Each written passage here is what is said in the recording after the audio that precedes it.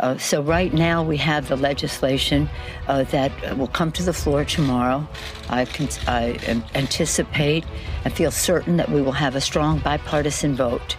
And we take some pride in the fact that, as I said earlier, uh, Dem- congressional Democrats in the Senate and in the House were able to flip this over from corporate trickle down Republican version to bubble up worker first, families first legislation.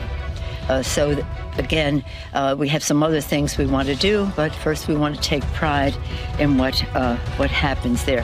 For workers, we were able to get, of course, extended and expanded. Uh, expanded, extended from what the Republicans wanted and expanded unemployment insurance.